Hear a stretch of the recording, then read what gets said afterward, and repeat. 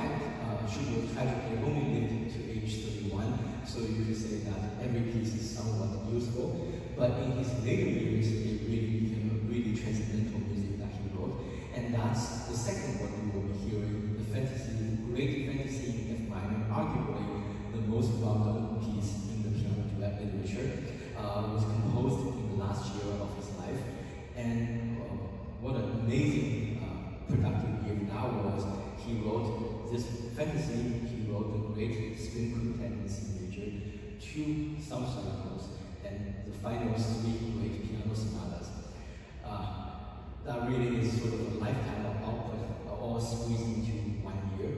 So this fantasy uh, is played continuously uh, with many different sections within it, contrasting sections, but they all grouped together by this wonderful and beautiful opening scene that you will hear.